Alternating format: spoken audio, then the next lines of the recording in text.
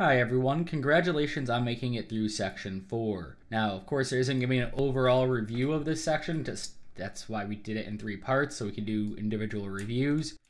But let's talk about what we did do in this. We created our herbs, which were based on things from section 2, so we don't need to explore that. Same with the trees themselves. We imported meshes for this, so we're not going to explore that. What else did we do? Well, we brought into our world the spawning resources and we used the foliage system. So we're not going to review that because that, that's something we made and there's documentation on it. We use the procedural foliage spawner. Again, we're not going to review that because there's documentation on it. What we are going to review, the part that really we spent the most time tackling here. I guess we will review the trees actually a bit. Also, by the way, if you haven't noticed, there's an error with the trees, is our resource resource spawner. So we created this very, very, very complex, not very complex, but relatively complex system for spawning in resources. So we have a structure of resource details, which we created. Let's just pop that open as well so we can take a look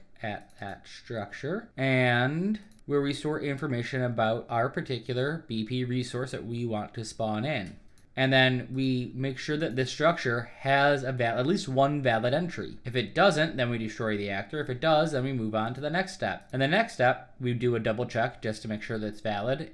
If it isn't, we destroy the actor if it hasn't been already. And then we iterate in an outer loop. Remember, an outer loop moves slower through our resources that we want to spawn in. And we loop the number of times we're going to spawn them in based on the density setting here. So let's say we have three resources that we're spawning in, two tree types and one herb. And the first tree type has 10 trees. This will go through, you know, index zero run through 10 times. Then it goes to the second tree type, so index 1, and maybe this one has 15 tree types, and so that runs 15 times. Then it comes back to this loop and goes to our second index, so the third thing we're spawning in, the herbs, and it goes, all right, well, I'm going to spawn in 100 of them.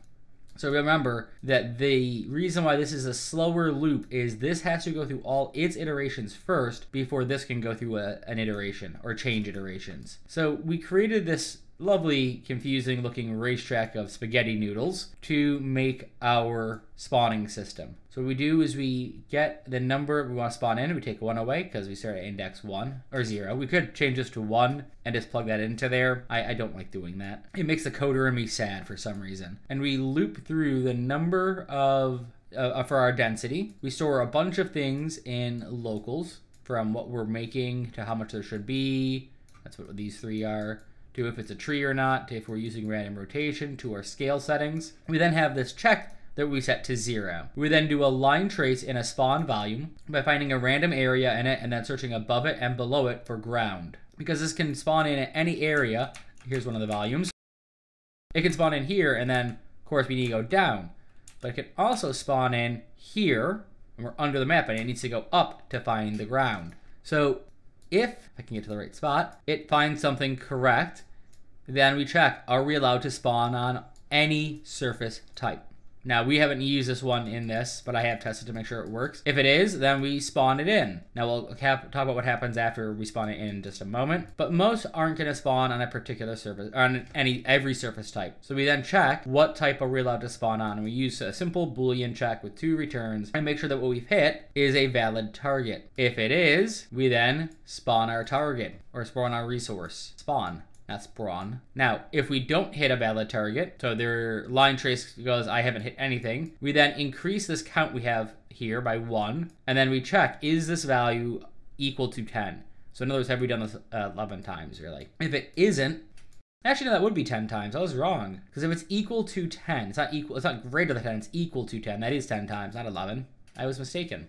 Cool. All right. Anyway, if the um, if it isn't ten times you've done this, we go back through and we do another line trace, and we keep repeating this until we either find a valid area or we've exceeded our number of attempts. This is to prevent an infinite loop. The same is said if we hit a valid area for you know a valid surface, but it isn't a valid surface for spawning onto whatever we're trying to spawn. Again, we come through here, we increase our count check, and we go back through until we do find a valid area. So eventually if we do find a valid area, if we don't, it just goes to the next iteration. If we do find a valid area, we then spawn in our resource. The impact point is our location. Our rotation is based on either if it's allowing random rotation or not. If it is not allowing random rotation, the rotation zero. Now, trees get a slightly smaller rotation area than herbs do. So we check if it's a tree type. So we have to actually say if it's a tree or not. We then set our scales. We then calculate the base resource amount, which we're probably gonna have to iterate this because that gave us some really big numbers. And then if this has successfully spawned and is a tree type, we move the tree so the socket we've added to our trees actually is embedded in the ground. Now there's a lot of abstraction I'm doing here by not opening these up. You know, we're calculating rotations, calculating scale, base resource amount. It's all in the videos. This is just a recap, and I think the more important part is understanding how this overall works. I will gladly abstract these as much as I can. Um, also, because they're just a pain to, to look at for me.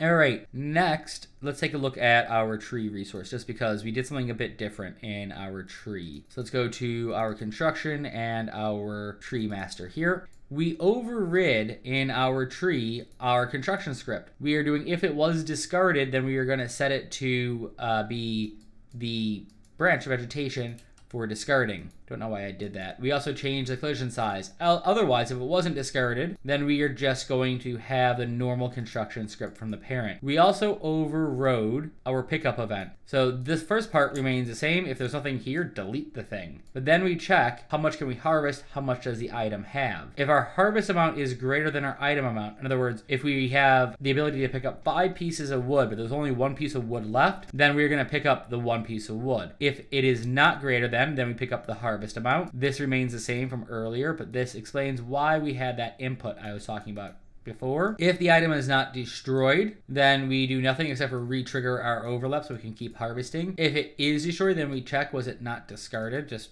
because we could be picking up wood that we dropped on the ground. If it wasn't discarded, then we spawn in a tree stump. If it was discarded and we're just picking it back up, then we just do, do we need to pick anything else up? Same with the tree stump, actually. Once it spawns a tree stump in, we should get a prompt saying, hey, do you want to pick up the tree stump? Now, we don't because the collision area around the tree stump is a bit smaller, uh, so we're a little bit farther away. So yeah, that is what we did in section 4C of this tutorial. Congratulations on making it this far, and I look forward to seeing you in the next section of our tutorial series. We'll be working on our weather systems. Remember to hit the subscribe and notify icon so you know when that section is out, and to hit the like button to let me know that I'm bringing you content that you appreciate. All that said, I look forward to seeing you in section 5 of this series, and I hope that you have a wonderful day.